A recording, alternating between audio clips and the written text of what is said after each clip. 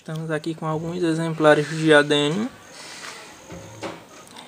Como pode ser observado, a gente pode diferenciar as espécies a partir das folhas, a partir do formato das folhas. Esse aqui mais simplesinho, mais, mais fininho, por exemplo, é, geralmente é formado por folhas e por flores rosas, um tom levemente rosado,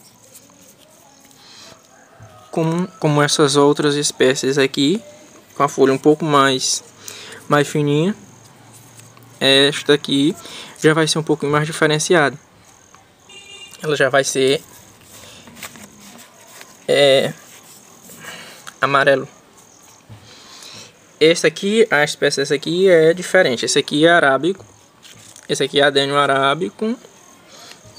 Essa subespécie aqui é Socotron. Por quê?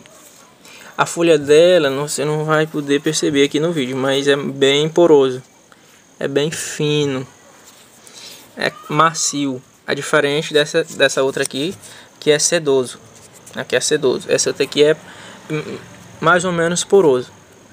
Geralmente as folhas da, da, eu tenho 30 e poucas espécies aqui, mas ainda nenhuma floriu. Mas geralmente vai ser rosa dessa Socotron.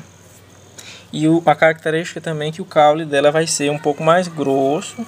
Né? O caudex vai ser um pouquinho mais grosso em relação ao outro que tem praticamente quase que a mesma idade. Esse aqui também.